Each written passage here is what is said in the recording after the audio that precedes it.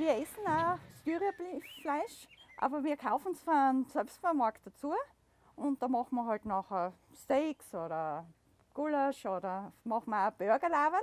Die machen wir mit halben rohen Kartoffeln und halben halbe Menge Rindfleisch. Und die Kinder lieben das. Und auch die Laverler kaufen wir beim Obhofer gekauft, die was das selber braucht.